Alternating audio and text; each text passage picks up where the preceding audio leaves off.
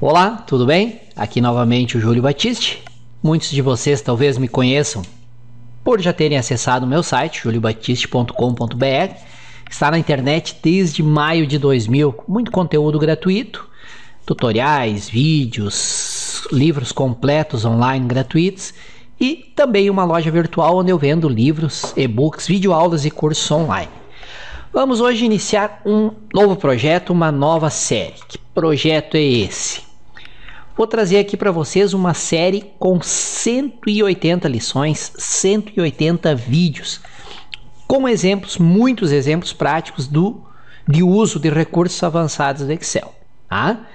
Eu resolvi compartilhar essa, essa série aqui através do YouTube, porque eu senti muitas pessoas com dificuldade em usar alguns recursos, recursos bastante úteis do Excel. Todas as lições, as 180 lições, uh, dessa série são baseadas neste livro aqui de minha autoria.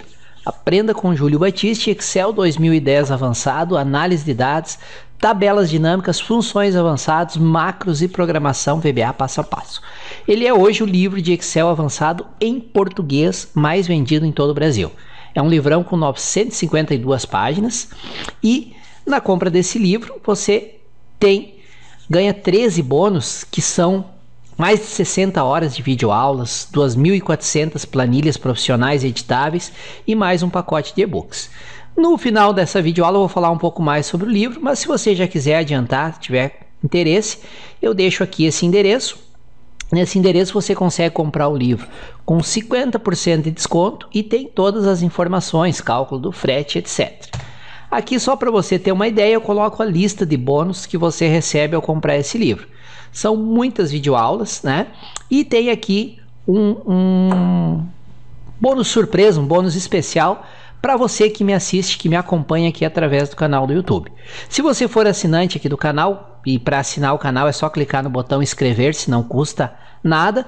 E a vantagem de se inscrever é que você é avisado pelo próprio YouTube via e-mail sempre que um novo vídeo é publicado. Se você fizer a compra usando esse endereço aqui e no campo observações do pedido você colocar esse código aqui, YouTube 180, além dos 13 bônus, vai ter mais um bônus surpresa muito valioso, eu garanto para você, tá bom? Então, me acompanhe nessa série de 180 videoaulas com exemplos práticos de Excel avançado. Vamos lá então. Olá, tudo bem? Aqui mais uma vez o Júlio Batiste trazendo para vocês mais uma lição dessa nossa série de desse nosso curso de Excel avançado, macros e introdução ao VBA. Eu resolvi criar essa lição porque é muito importante, principalmente agora que nós estamos trabalhando com pesquisa, filtros, e vai ser importante também depois lá com tabelas e gráficos dinâmicos, ou em qualquer uh, qualquer trabalho que envolva pesquisa em uma tabela de dados. Saber a diferença entre o E e o OU. Ah, isso é um pouquinho de lógica, mas é bem fácil de entender. Eu já falei um pouco antes e vou reforçar aqui.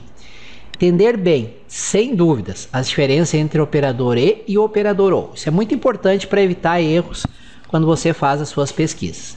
Nessa lição nós vamos tratar de um assunto teórico e que muitas vezes, para muitos usuários, causa confusão, causa dúvidas e, o pior, gera erros na hora de fazer as pesquisas. A diferença de como funcionam os operadores lógicos e e o OU, a diferença entre os dois.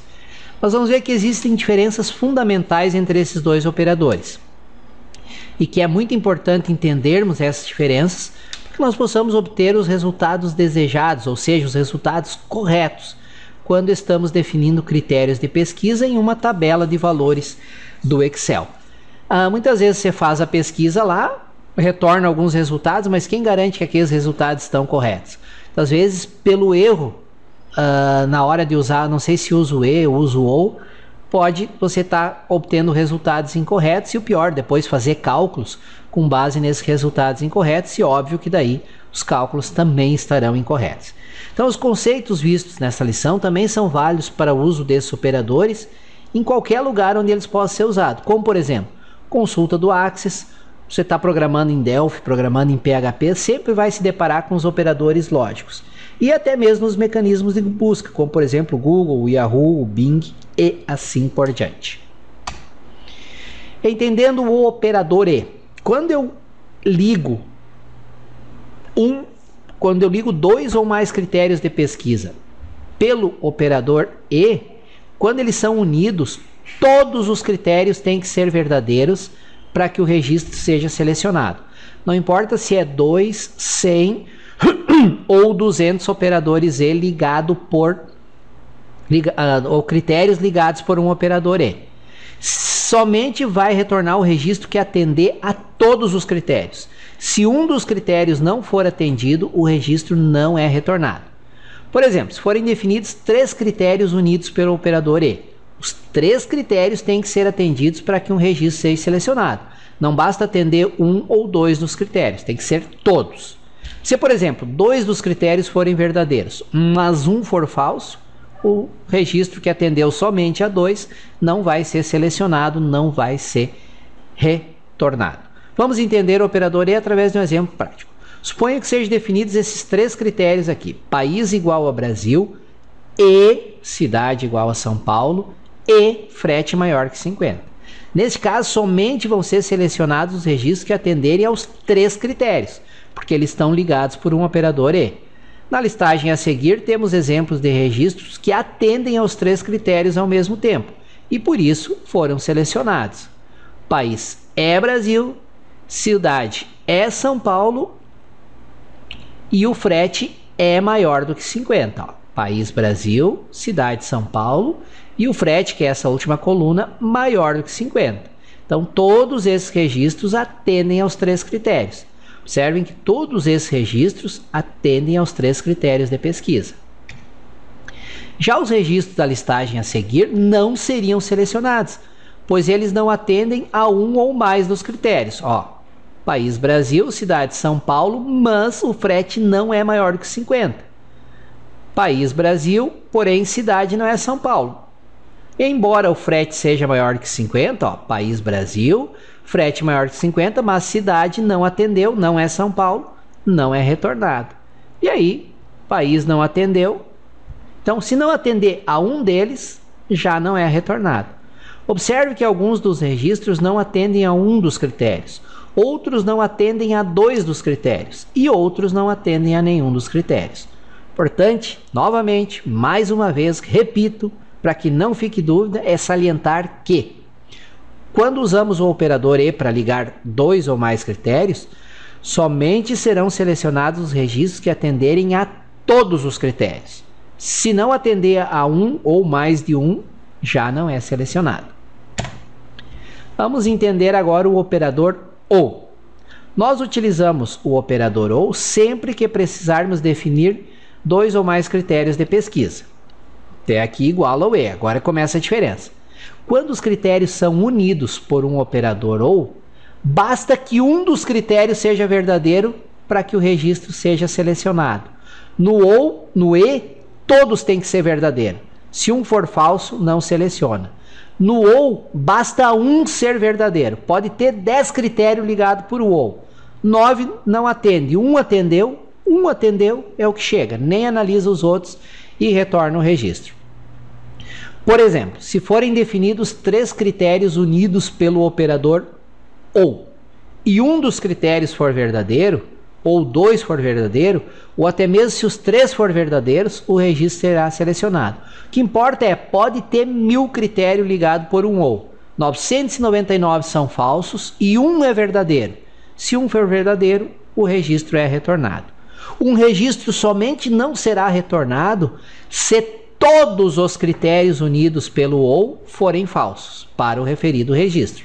Então vamos entender através de um exemplo prático. Suponha que sejam definidos os seguintes critérios: ano do pedido 2010 ou cidade igual a São Paulo ou frete maior que 50. O que, que vai retornar esse esse esse, esse conjunto de critérios ligado por UOL. Nesse caso, ele vai ser selecionado qualquer registro que atender a pelo menos um dos critérios unidos pelo UOL. Somente não vão ser selecionados os registros que não atenderem a nenhum dos critérios. Na prática, serão selecionados os seguintes registros: todos os pedidos para o ano de 2010, independentemente da cidade, independentemente do valor do frete. Atendeu um, é selecionado. Todos os pedidos para São Paulo, independentemente do ano e do valor do frete. Atendeu um, é selecionado. Ou todos os pedidos com valor de frete maior do que 50, independentemente do ano ou da cidade. Atendeu um dos vários critérios ligados por um ou, ele é retornado. Na listagem a seguir, temos exemplos de alguns registros que seriam selecionados, pois atendem pelo menos um dos critérios ligados por o ON. Quais são esses critérios? Ano 2010, São Paulo, frete maior que 50. Aqui, ó, atendeu São Paulo, não interessa o ano e não interessa o frete. Veja que esse, ó, atende São Paulo, atende ano de 2010, mas não atende frete, não interessa. Atendendo um dos critérios ligado pelo OU é selecionado. Ó, esse aqui atende ano 2010 e frete maior que 50. Atendeu um deles já é selecionado. Ah? Agora vamos ver exemplo de registros que não seriam selecionados. Na listagem a seguir temos exemplo de alguns registros que não seriam selecionados. Observem que estes registros não atendem a nenhum dos três critérios ligados pelo operador ou, ou seja, somente quando os, todos os critérios forem falsos é que o registro deixa de ser selecionado. Lembrando os critérios aqui, ó. 2010 São Paulo, frete maior que 50. Não é 2010, frete não é maior que 50 e não é São Paulo. Como não atendeu a nenhum dos três, esse aqui não seria retornado. O mesmo para todos desta listagem aqui. Resumindo as diferenças entre E e O. Critérios de pesquisa unidos por um operador E. Todos têm que ser verdadeiros para que o registro seja selecionado. Basta que um seja falso para o registro não ser selecionado. Critérios unidos por um operador E ou basta que um seja verdadeiro para que o registro seja selecionado. Somente quando todos forem falsos é que o registro não vai ser selecionado. Ok, pessoal? Quis colocar essa lição teórica aqui porque é muito importante vocês saberem com clareza a diferença entre E e O.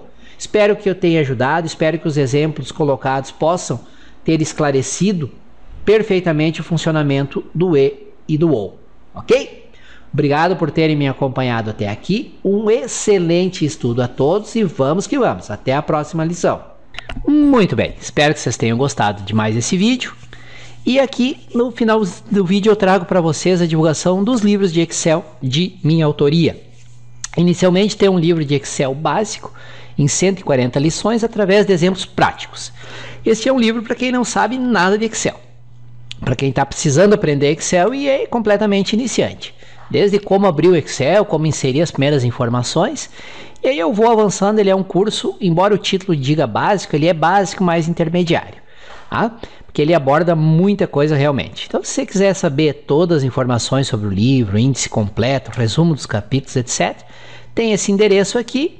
E fazendo a compra do livro através desse endereço, tem essa promoção especial, onde o livro está com 50% de desconto e você ainda ganha todos esses bônus aqui. Tá?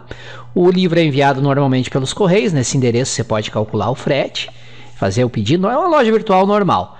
E todos esses bônus são liberados via download para você para complementar os seus estudos. Então, um livro, eu diria, perfeito para quem é iniciante no Excel. Já avançando um pouco, nós temos esse livro, no qual é é baseado a série de 180 videoaulas de Excel avançado que eu estou publicando no YouTube. Os exemplos das videoaulas são baseados nos exemplos desse livro. Esse aqui é um livro para quem já domina o básico do Excel e quer avançar, quer aprender a usar recursos mais avançados.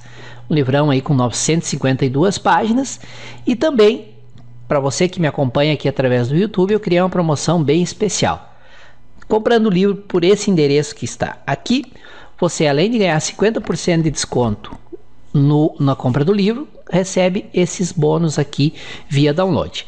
Nesse endereço tem a descrição completa do livro, índice completo e detalhado, como fazer o cálculo do frete, como comprar, etc. Então é um livro e hoje eu tenho a felicidade de dizer para vocês que esse é o livro de Excel avançado em português mais vendido em todo o Brasil. Não tem nenhum livro de Excel avançado que venda mais do que esse aqui no Brasil, ok?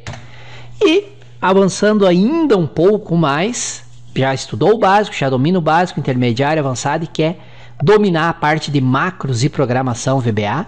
VBA é aquela parte que eu sempre digo, quem não domina, quem não usa o VBA, não usa nem 5% do que realmente o Excel oferece. Então, às vezes você tranca lá por horas, dias, semanas, não consegue resolver um problema e que se você dominasse programação VBA resolveria muito rapidamente e muito facilmente. Uh, demanda tempo de estudo, demanda dá trabalho, mas abre um leque de opções absurdo a partir do momento que você domina VBA.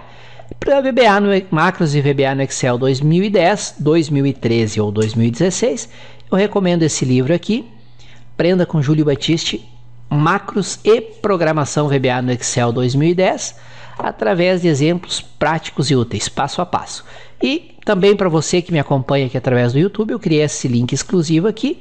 Nesse link tem a descrição completa, índice completo, e você consegue comprar o livro com 50% de desconto e ainda recebe todos esses bônus aqui via download.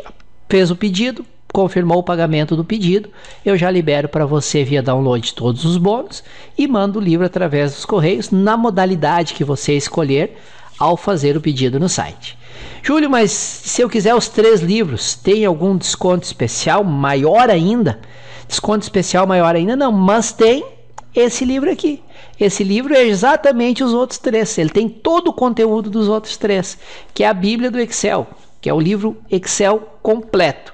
Ele é para o 2010, mas se aplica integralmente ao Excel 2013 e 2016. Alguém pode dizer, Júlio, mas a soma de páginas desse aqui não é a soma dos outros três. É porque a gente mexeu um pouco na diagramação, diminuiu um pouquinho o tamanho da letra, para não ficar um livro com muitas páginas ruim de manusear. Mesmo assim, ficou com 1.338 páginas e ele tem todo o conteúdo dos outros três livros. Ele vai do básico ao VBA. E preparei para vocês também que me acompanham esse endereço aqui, especial para quem é do YouTube. Vocês podem comprar o livro com 50% de desconto e ainda ganhar um pacote de bônus que eu descrevo aqui. Tá? É um livro que realmente muito completo, muito, muito completo e vale a pena. Aqui está errado, ao invés de 1537, é o correto é 1338. Falhou na minha revisão aqui dos slides, tá? 1338 páginas tem esse livro bem completo, bem detalhado e vem com 13 bônus bem valiosos. Quiser saber mais, dê uma olhada aqui neste endereço. Valeu? Então, divulgo aí para vocês meus livros de Excel. Quem tiver interesse, tem muito conteúdo, muita coisa boa nesses livros. Valeu? Não esqueçam também de se inscreverem aqui no canal, tem o botãozinho inscrever-se aí abaixo do vídeo. Qual a vantagem de você se inscrever aqui no canal? Primeiro que é gratuito, não paga nada para isso, é só clicar no botão inscrever-se e confirmar a inscrição. E se você é inscrito no canal, sempre que eu publico um novo vídeo, e quase que diariamente eu publico novos vídeos, você vai ser avisado pelo YouTube via e-mail, ó, tem um novo vídeo, o link do vídeo o assunto do vídeo para você acessar. Tá bom? Então conto com a inscrição de vocês. E não esqueça de me ajudar na divulgação desse conteúdo gratuito. Aqui abaixo do vídeo tem a descrição, tem o link de acesso direto. Você pode divulgar compartilhando essa descrição, esse link através das redes sociais que vocês participam, Facebook, Twitter, Google ou podem mandar por e-mail para os amigos, colegas conhecidos que vocês saibam que tem interesse nesse assunto aqui, tá bom? E além disso, não esqueçam de usar o campo comentários, que está aqui abaixo do, do vídeo. Comentário ele funciona como um fórum de discussão, como um bate-papo. Você pode deixar, ah, fiquei com uma dúvida no exemplo, etc. Pode deixar no campo comentários. Pode demorar um pouquinho, mas eu em todos os vídeos que eu publico, revisando os comentários e respondendo. E pode ser que outros usuários que estão assistindo o vídeo saibam a resposta e respondam para você. Então você pode deixar suas dúvidas, sugestões, críticas, elogios e podem também responder a dúvidas deixadas por outros usuários. Com isso, utilizando os comentários, a gente cria uma comunidade de aprendizagem, vai interagindo e todos nós aprendemos juntos, tá bom? Conto então com vocês. Se inscrever aqui no canal, ajudar na divulgação dessa série de vídeos e deixar seus comentários com dúvidas, sugestões, críticas, etc. Valeu? Muito obrigado por terem me acompanhado até aqui.